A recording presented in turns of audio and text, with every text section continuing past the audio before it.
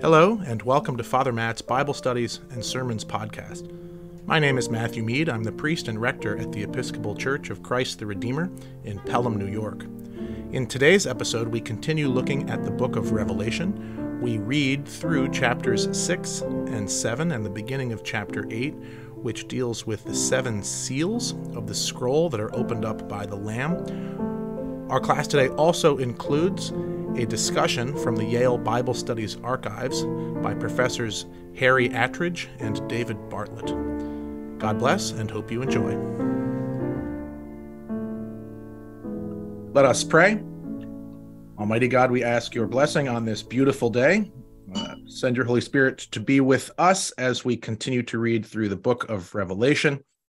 Uh, today, we're going to look at the seven seals. Um, may your spirit be with us to help us understand. Through Christ our Lord.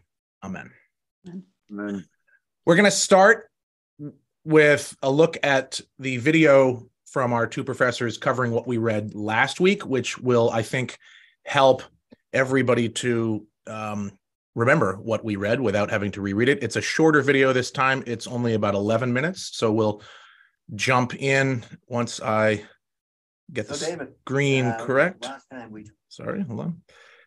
Okay. Right. And then we'll jump into the seven seals, which leads right from that.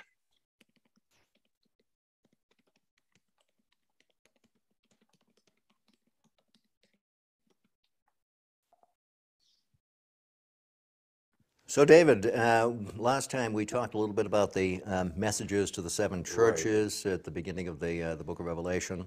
And uh, there was one little element in there that um, uh, we didn't say too much about, but at the end of each message, there's uh, something about a victor. Yes. What's going on with yeah. that? Um, my sense is that, it, that in a remarkable way, what John does is take the language of conquest and almost invert it so that the victors are those who bear faithful testimony, even sometimes at the expense of their own lives.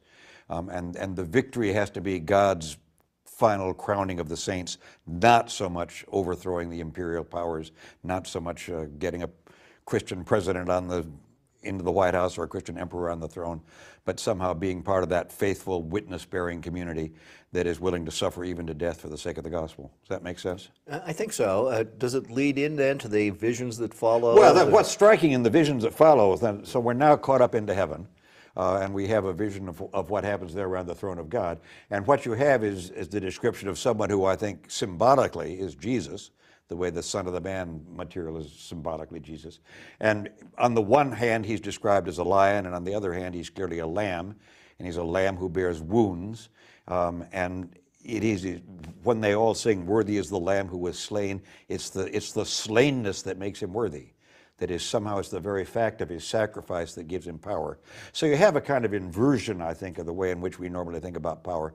Power slays and weakness is slain. Here, power is slain. Um, and, and weakness sits on the throne, kind of uh, primping itself, but without having the ultimate power of, of the creator or the creation. Mm-hmm. Tell me a little bit more about um, the vision of, of heaven that um, uh, John sees. Now, this is this is one of those places I think where John draws very heavily on on his Old Testament sources, uh, especially on Isaiah and somewhat on Ezekiel, uh, and and the idea of a throne into which he's caught up, and and more not so much description of God as of the throne on which God sits, which is I think a kind of if if our man's a Jew, it's a kind of referential, reverential and referential way of saying, I'm going to talk about the God of glory without pretending to describe what that God looks like. I'm going to, I'm going to note who he is. And, and surrounded by creatures who worship and adore him. And I think, in a, in a, in a sense, that, that what happens is that the heavenly vision um, helps us understand the earthly vision that, that finally it's all creation and finally it's all praise.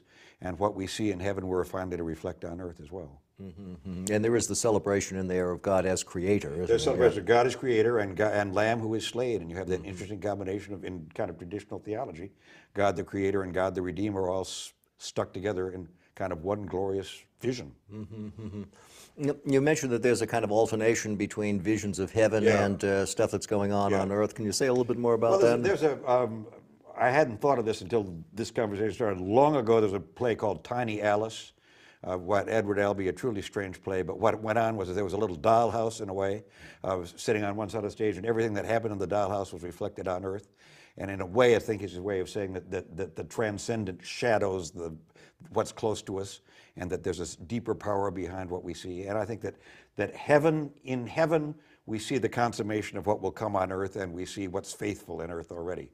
Um, and especially when it comes to praise, it's not simply uh, that the angels join in praise, that the creatures join in praise, that the spirits join in praise, but the people at church join in praise, so that when they gather at Laodicea uh, or one of the churches to sing, Worthy is the Lamb that was slain, all heaven joins with them. And this is a notion that we find in some other um, texts of this period, right? That uh, worship on earth somehow is a participation in worship in heaven. Yes. That people at Qumran. People at Qumran do a great deal of sense that the, that the heavenly categories are also reflected on earth. I think the book of Hebrews has a sense that the heavenly sanctuary, the heavenly temple is somehow replicated on earth. Absolutely. And, I, and that's part of the. We, we want to draw distinctions all the time, and I think Revelation is always kind of crossing those boundaries till the end when we have a new heaven and, and a new earth. And it's all kind of drawn together into one glorious vision. But already we have the visions playing against each other. And I know in uh, many Christian liturgies, we still say that uh, Trisagion, the holy, holy, holy, the Sanctus, Sanctus, Sanctus, right, yeah. uh, which is what the angels Which is what the uh, angels sing, say. and and uh, and Handel has a singing, "Worthy is the Lamb that was slain." In Messiah, it's hard to read it without singing it along. But I think that's right. I think one of the things about this book is it is poetry, and I think there are places where it's almost easier to imagine it being sung by a choir than read by a liturgist or a lector, because it it becomes the response of the congregation to the glory of God and reflects the heavenly response to the glory of God as well. So um, we have this, this vision of, uh, of heaven, and there's a slain lamb. Yeah. It's also a lion, Yeah. um, kind of a surreal connection there, uh, enthroned, and um, an acclamation that this uh, lamb is worthy to open the seals on Yeah. the The s- book. yeah. Uh, what's going on with all of that? Well, what what are the seals? I mean, it, it can be that this is this is a sign of the mystery and magic of it all. Uh, that this is sealed as mysteries are sealed. It can be sealed the way a last will and testament is sealed. Uh, it can be a seal to show kind of the imperial power taking claim, except here it's God's imperial power. Um, and the question is, who has the right to open up the revelation for the sake of the seer, John of Patmos, and through him for the sake of the churches? And, and they're all waiting for someone who can do that, and it turns out, from a Christian perspective, not surprisingly, to be Jesus and Jesus alone, who opens the future. And I think as we go along, we'll say who is in some ways the key to the future. That, that, that the future is going to look like Jesus as well as be revealed by Jesus. So the, uh, the scrolls were in some ways uh, a kind of history book. Uh, a kind of a history book, a kind of look what's happening book, and a kind of, insofar as there's a little foretelling in all this, a little foretelling along with the foretelling. Um, but i this, is, this gets us ahead of our game. My sense is that, that Revelation is not set up to be kind of chronological.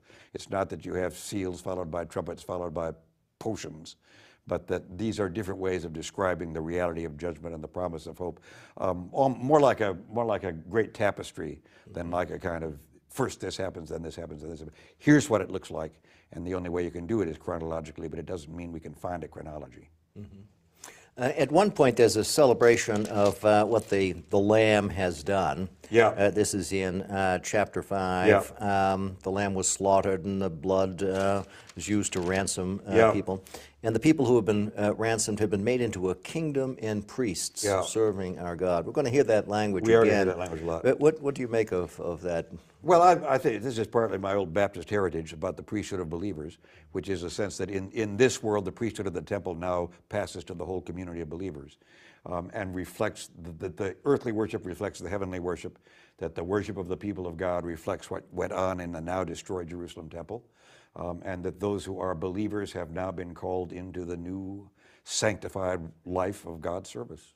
We have this, this notion in some other places in the New Testament, too. Right, we? hugely in First Peter. Right. First Peter is very strong on the idea that, that the believers have now become the royal priesthood. They're, they're the new kings and they are the new priests. And it'll be interesting to see that here we have the priesthood. The end of John, we have everybody's reigning, R E I G N, you know, like kings, Right. right? Um, so that priesthood and royalty both are God's, but also belong to the community and maybe even to the church. As we go along, it'll be kind of fun to see whether we get indications not just of believers, but of church as an institution or church as a community. Is there any uh, danger or problem with the language of kingship here? Uh, Can it be, can it be misinterpreted, misunderstood? Well, I think it, there's, I think there's always the, the problem uh, of a kind of triumphal view of the gospel, uh, in, not only here but in, in all kinds of places where we think that it's a kind of political prosperity gospel. Uh, the idea that those of us who are given grace by God are somehow therefore supposed to uh, live with particular power, potency, and influence on earth. And I just think sometimes yes and sometimes no.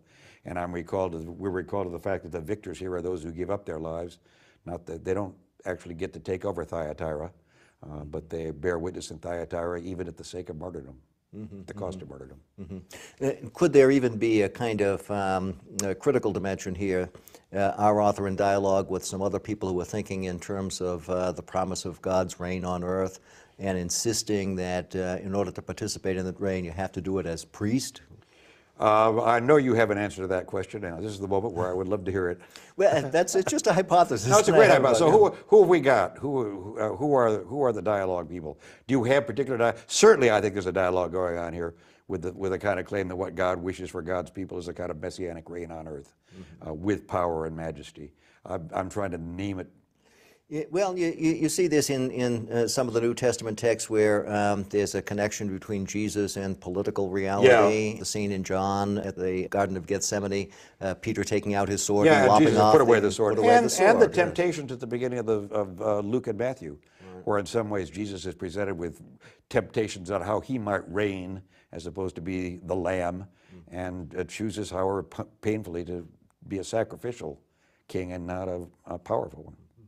And if we think too about the book of Revelation coming after the Jewish revolt Yeah. of 66 to 70, where people had tried to Yeah, how did establish that go a- for you, right? Uh, yeah, right, exactly, right. right. Uh, so this, like, here's uh, another alternative. right. Yeah, I think it's very strong. uh, and, and insisting that um, uh, God is going to reign in a different Yeah, way than yeah, they, the yeah. zealots Yeah, suggested. Yeah, yeah. And it's interesting, we've both talked about this, to read, read books on Revelation from the perspective not of fairly comfortable Americans, uh, but Allan Boesak writing in South Africa and some of the Latin American people writing about the way in which they want to balance their hope for justice with the uh, avoiding the temptation of simply replicating tyranny with a new tyranny of the new people. Um, how, do, how do we remain faithful and at the same time just? I think this is an issue that our authors, this is is an issue that our address. It's not- dealing with all the time. It's not just us uh, worrying about it. Absolutely. Right. Uh, so, what what would you say is the major um, takeaway from reading these chapters of the Book of Revelation? Uh, God is God. Uh, God is powerful. God will do justice. Victory doesn't look the way we thought it would look. Um, and, and God's purposes and God's power are revealed above all in Jesus Christ, who is paradoxically both lion and lamb. and that's a good place to end. Good. Alrighty. Sharing. Okay. Uh, one thing I'd say, um, I can see you. Can you all hear me? Yes. Yes. Um, one of the things that Revelation is read as often is, you know, we talked about this last time as predicting the now, so to speak, the world we are living in. And it stood out to me in a way that I hadn't uh, noticed before what Professor Bartlett said at the end um, in terms of, you know, Christians reigning in the world in some way. The line that he said about we don't want to replace a tyranny with our own tyranny is an interesting thing when you think of often throughout history um, and even into today uh, that it is not uncommon when Christians gain worldly power to introduce yet another type of tyranny over different people. If you know your European history, that certainly happens, but uh, um, it's just an interesting thing to think about.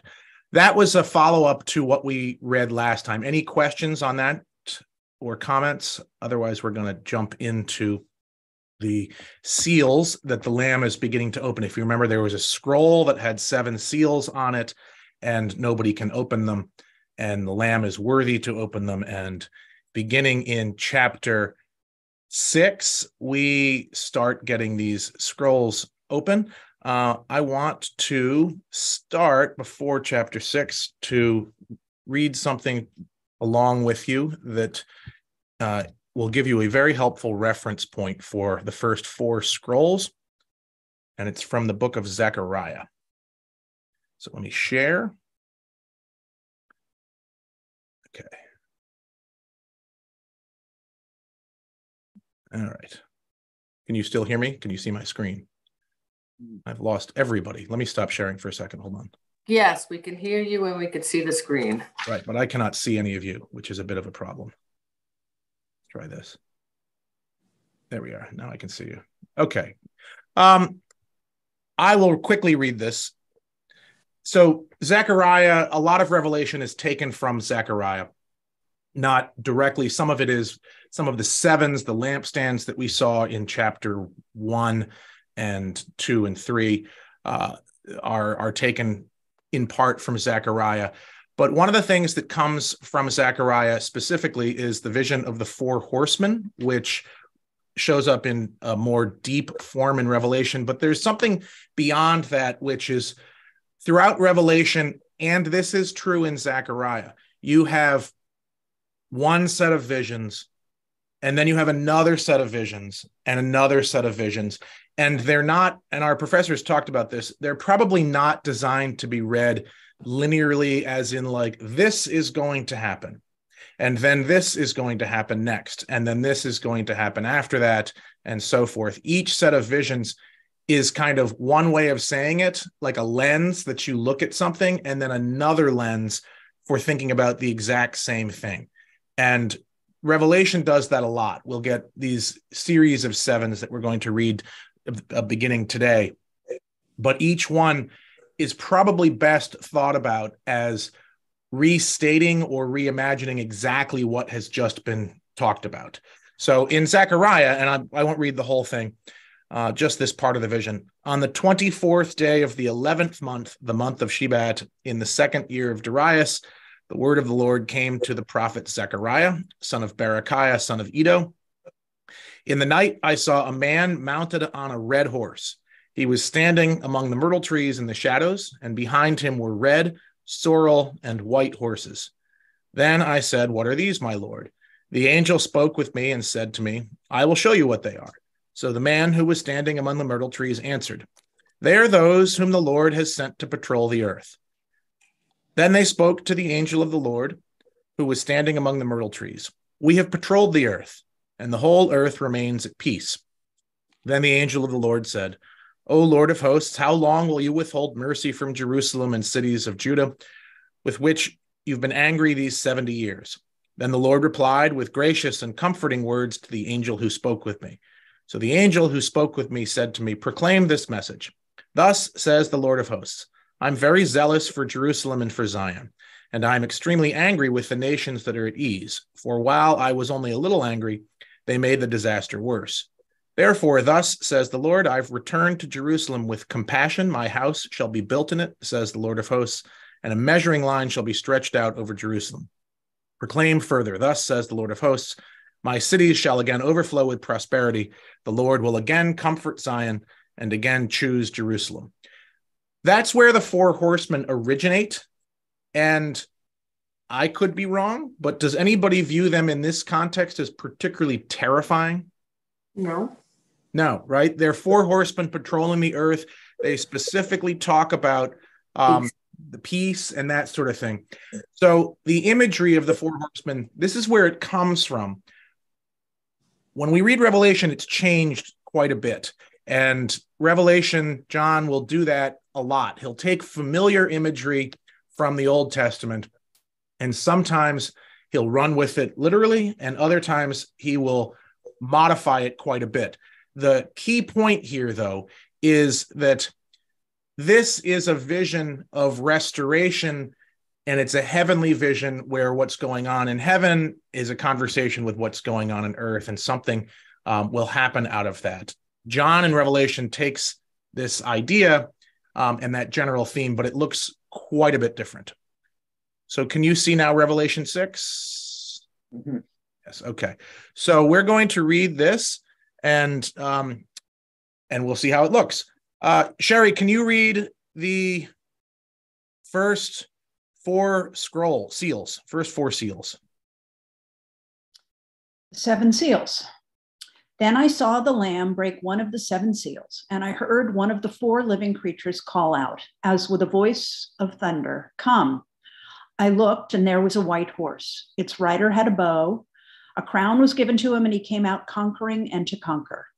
When he broke the second seal, I heard the second living creature call out, Come. And out came another horse, bright red. Its rider was permitted to take peace from the earth so that people would slaughter one another, and he would, was given a great sword.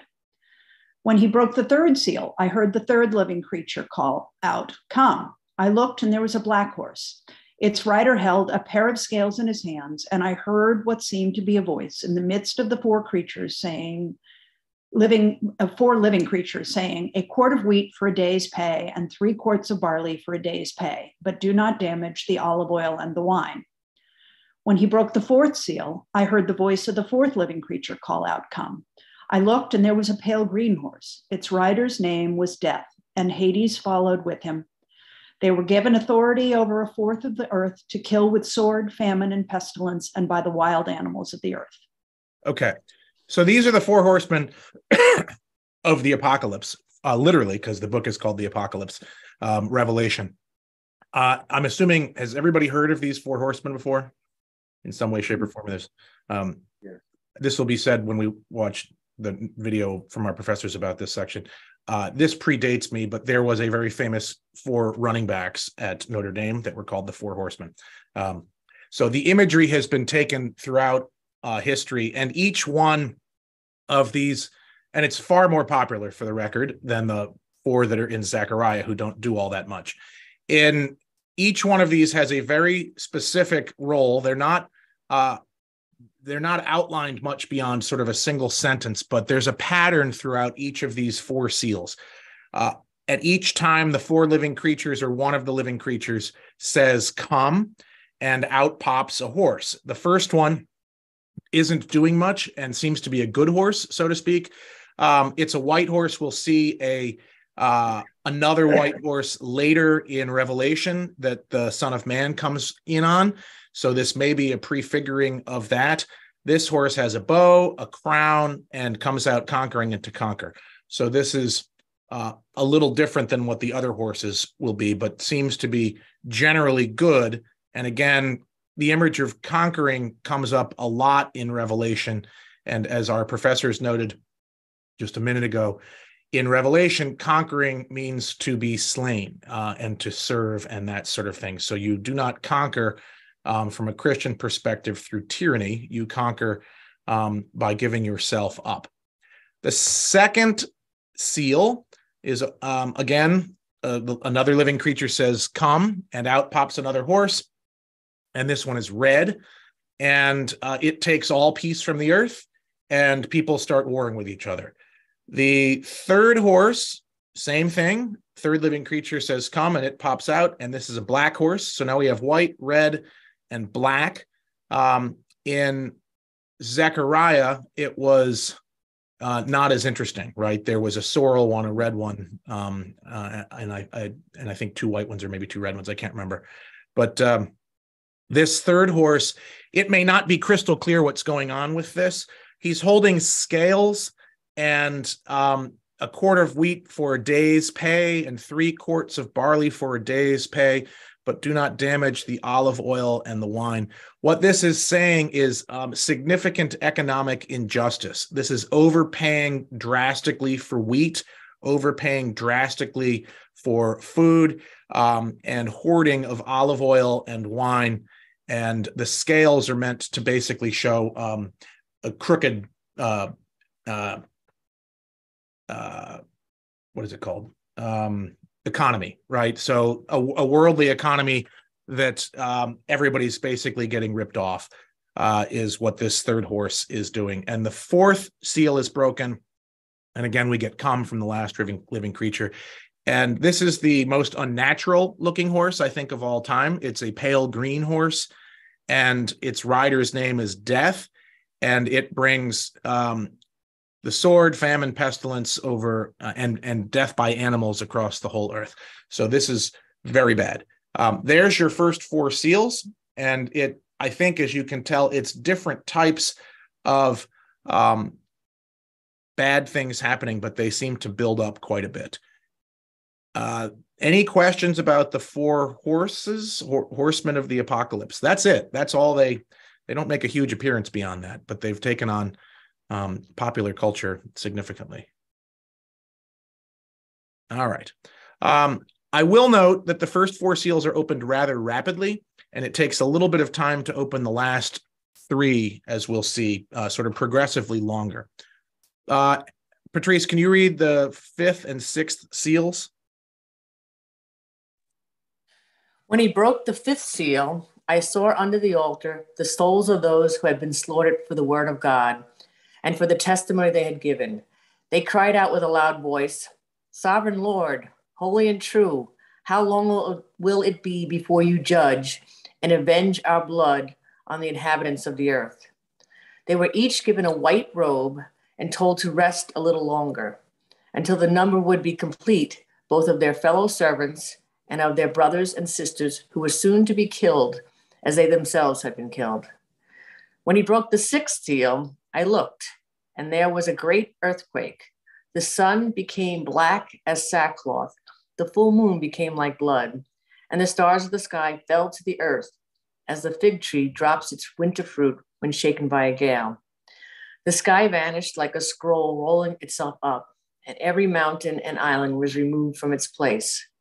Then the kings of the earth, and the magnates, and the generals, and the rich, and the powerful, and everyone, slave and free, hid in the caves and among the rocks of the mountains, calling to the mountains and rocks, Fall on us and hide us from the face of the one seated on the throne and from the wrath of the Lamb.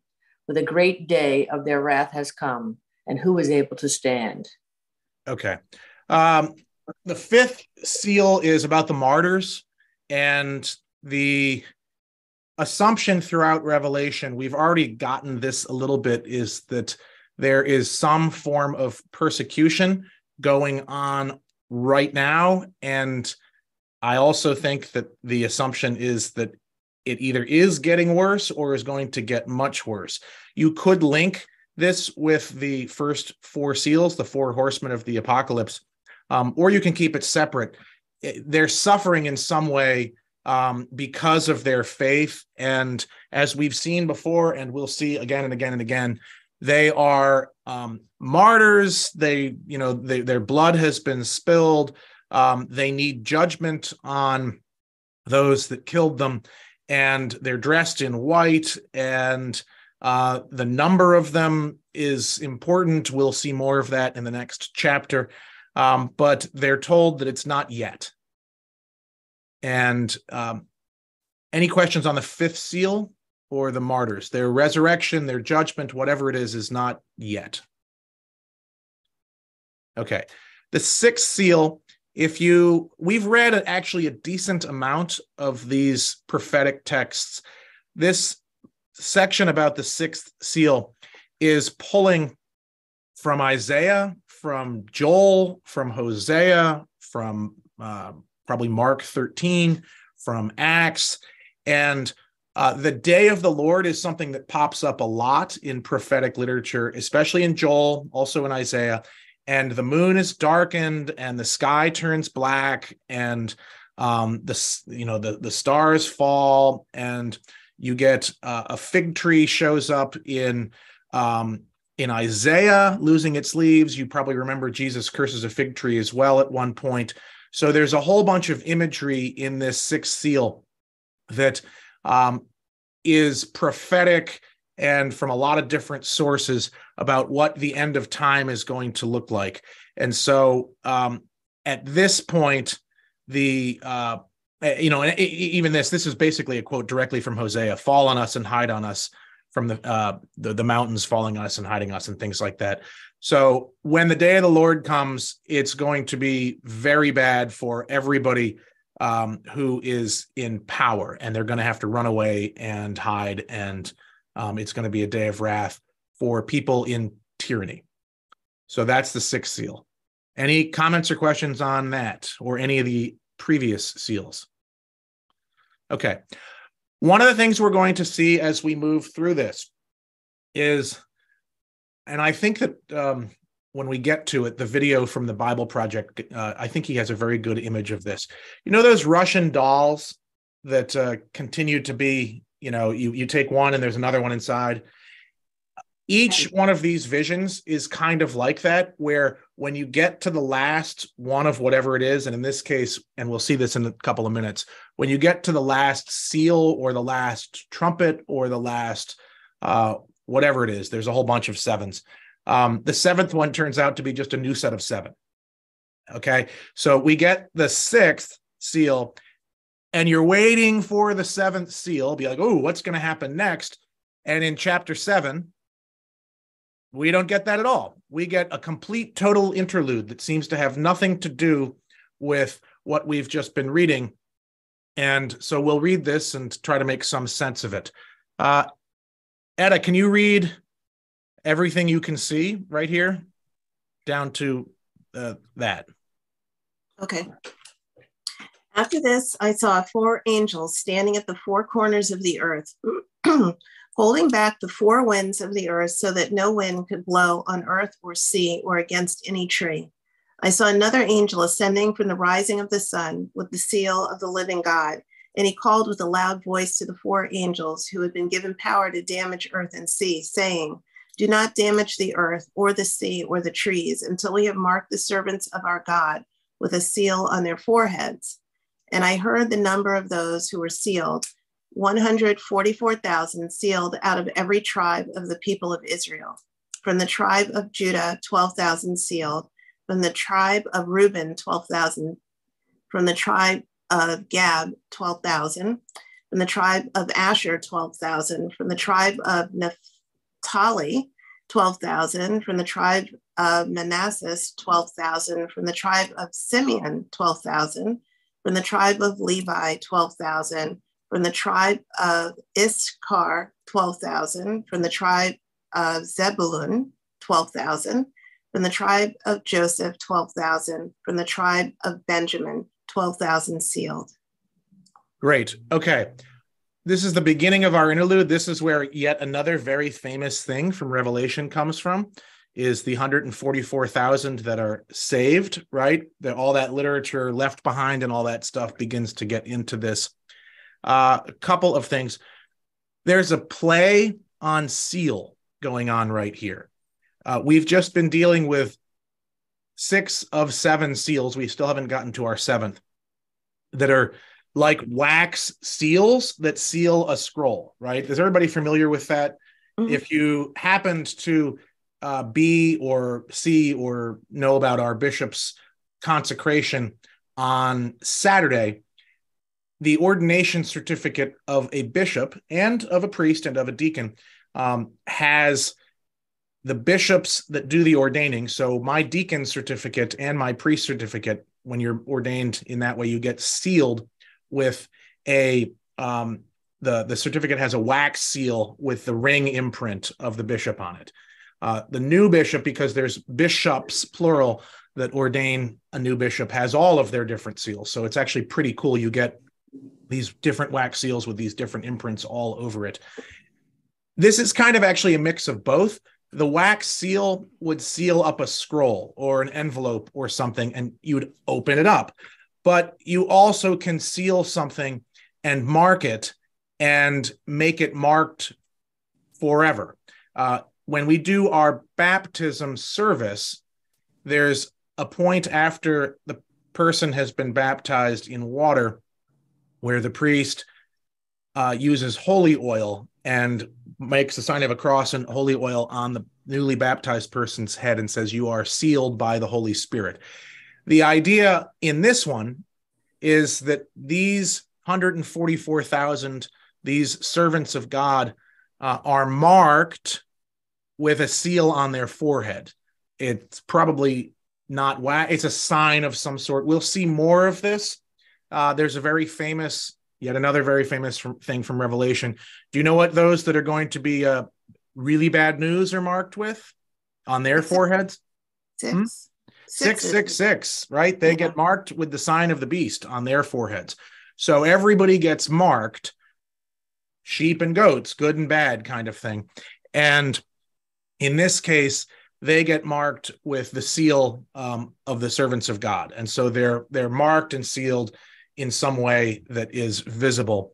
and probably looks something, the imagery is probably something along the lines of you see this in Ezekiel at some point where they get sealed, and the, those that are sealed uh, by the sign of the living God are um, going to be the remnant that are saved. You also see it, the most obvious one is in the Exodus story during Passover when they put blood on the doors and on the lintels, and it's a visible sign that uh, this is where the angel of death is not to go, right? So, again, that's another image, the whole Passover image that um, comes into Revelation obliquely. Like it's not brought up in quite the same way, but there is this same kind of thought about this. So, these are those that get saved. And um, we read a little bit about this earlier when we were talking about the seven churches and the letters to them. If you remember, there was the synagogue of Satan, and that sort of thing was brought up a couple of times.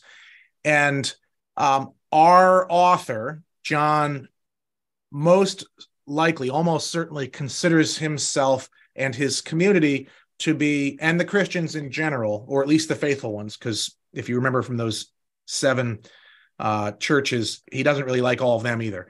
But uh, it, he he probably considers himself to be the faithful remnant of Judaism. So they are the true tribes, the true um, the true Israelites, so to speak.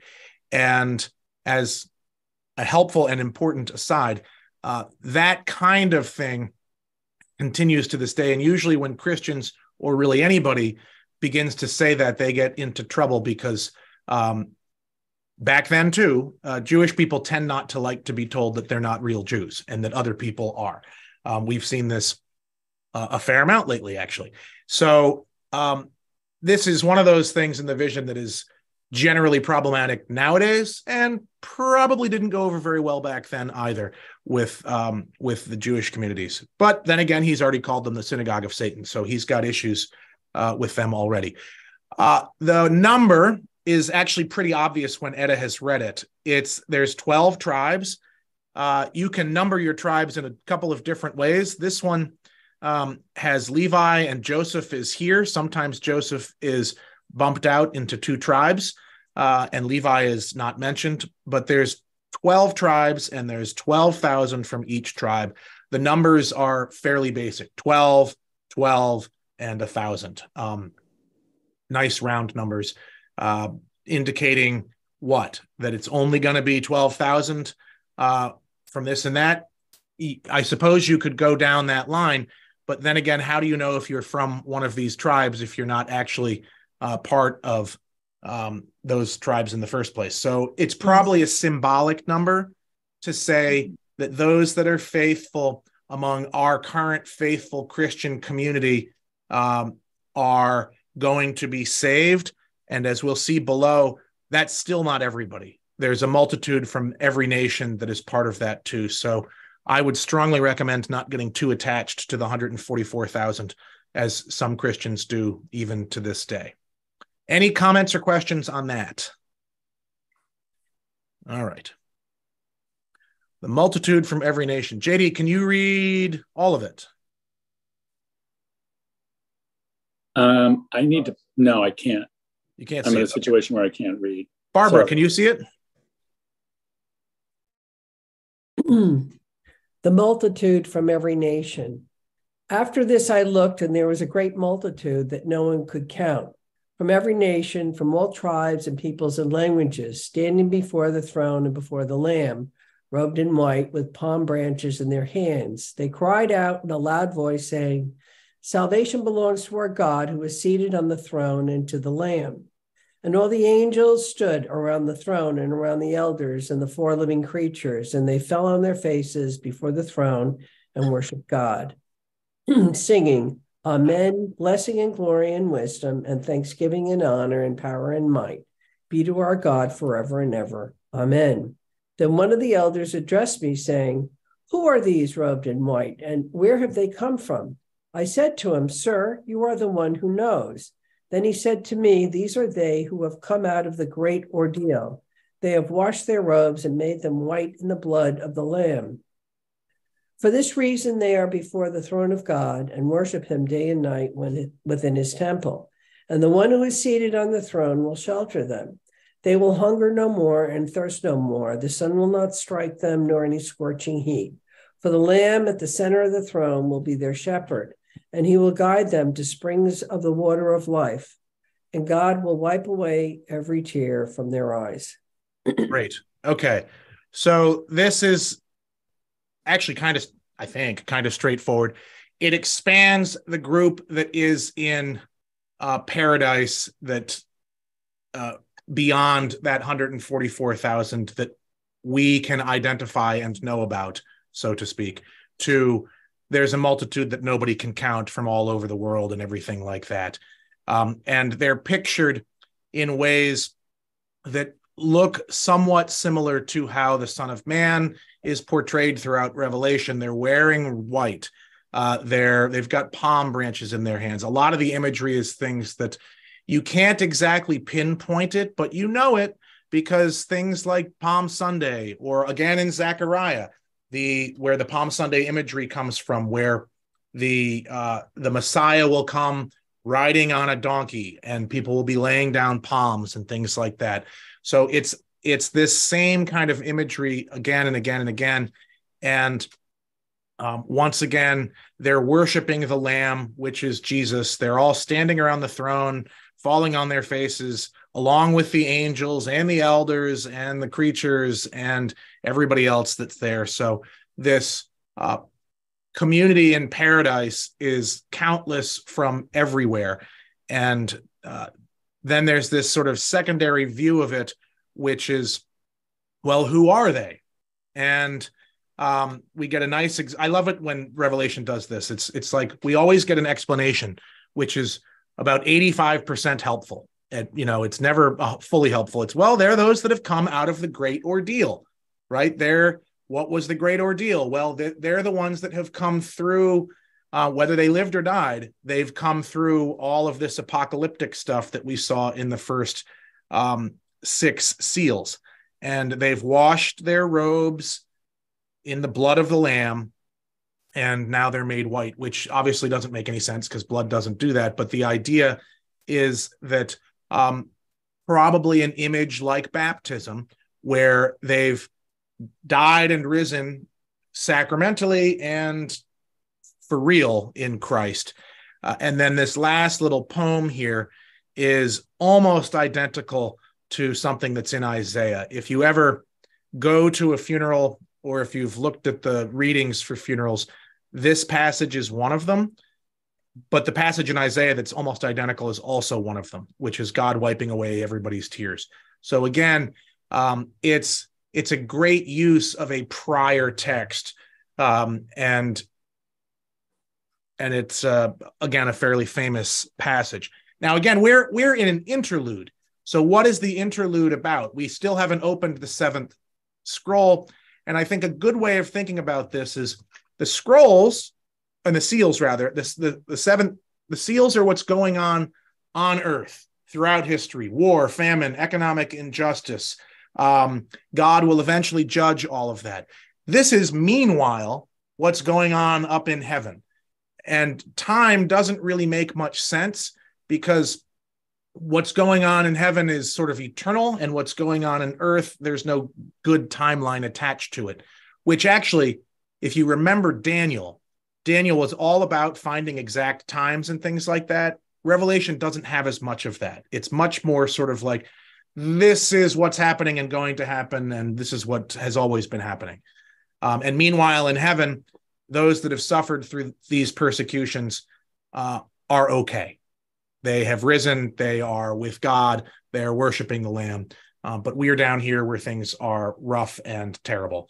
But there's hope because we've got this wonderful uh, interlude vision of what heaven looks like. Any comments or questions on any of this?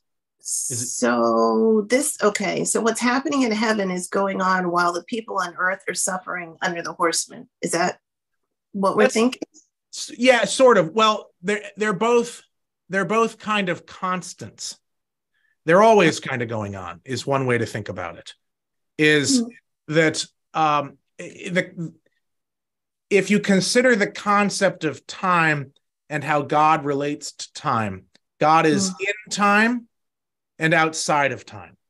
So once you get to this interlude, you're outside of time, even though so that these this is going on now, and it will still be the same scene at the end of time.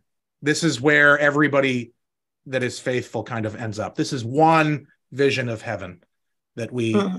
have here. And again, Revelation, we will see a completely different chaos, panic, uh, awfulness when we begin to deal with trumpets. You know, it's it's that Russian doll thing. So you've got um, this is one image of what it all looks like in time and out of time, and then we'll get another one of what it looks like in time and kind of out of time. So it's the parallel is there's a couple of parallels. It's it's now, then, in the future. That's time, and that's also because it's you know out of time. It's out of time. It's complicated. Welcome to Revelation. It's uh, yeah, it's not supposed to make that much sense. It's supposed to basically make you think, well, there's some hope because I I resonate far more with the economic injustice and the famine and the plagues and wars. I mean, this is the world we live in, right? You go back to the four horsemen and you're like, this seems vaguely familiar to like the last five years of my life, right? Like, um, and then you get this, which does not seem familiar at all. And this is the hope that there is to something that is um, beyond where we are. Does that make sense? Sort of. Mm-hmm. Mm-hmm. Okay. Um, let's jump a little more to the seventh seal, which there is a seventh seal. The seventh seal and the golden censer. James, can you read this? Uh, the seventh seal and the golden censer. When the Lamb broke the seventh seal, there was silence in heaven for about half an hour. And I saw the seven angels who stand before God, and seven trumpets were given to them. Another angel with a golden censer came and stood at the altar. He was given a great quantity of incense to offer with the prayers of all the saints on the golden altar that is before the throne. And the smoke of the incense with the prayers of the saints rose before the for God from the hand of the angel. Then the angel took the censer and filled it with fire from the altar and threw it on the earth. And there were peals of thunder, rumblings, flashes of light, and an earthquake. Great. Okay, so that's the seventh seal, which on the one hand is like the previous ones, right? It brings earthquake and fire and rumblings and lightning and all this other stuff. On the other hand, I think we were all expecting the end to happen.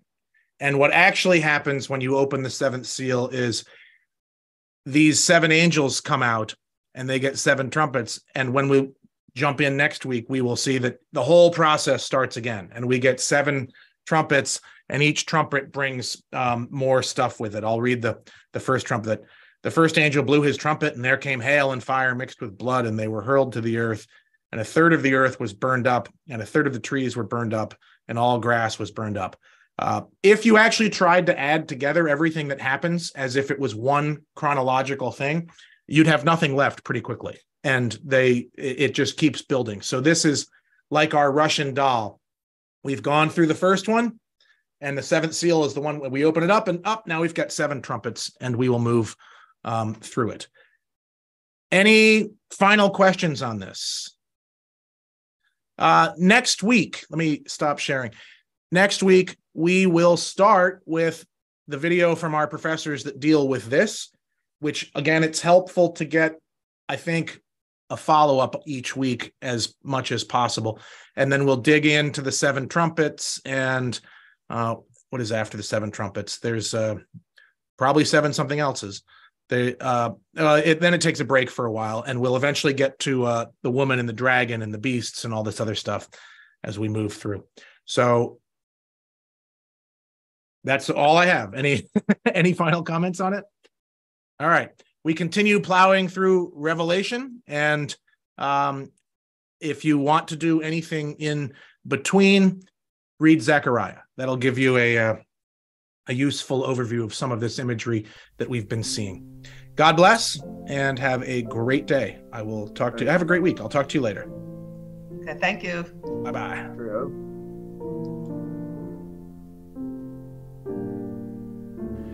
Thank you for listening today. If you are interested in subscribing, please do on our podcast. And you can also find all of our Bible studies and other church videos on our YouTube page at YouTube slash C slash Christ Church Pelham. Just or you can just look for it. Christ Church Pelham on YouTube. God bless and take care.